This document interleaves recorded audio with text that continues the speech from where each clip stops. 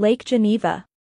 On the border between France and Switzerland, Lake Geneva, one of Europe's largest lakes, is located along the Rhône River's path.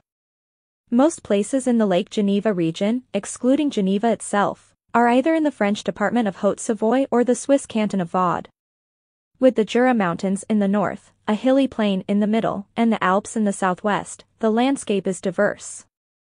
The magnificent villages and cities that encircle the lake, the skiing and hiking options in both mountain ranges, and of course the lake itself, are the key draws in this area.